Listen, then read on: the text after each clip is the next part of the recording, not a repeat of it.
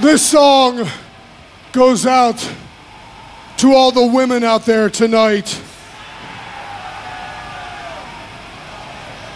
Addicted to vaginal skin.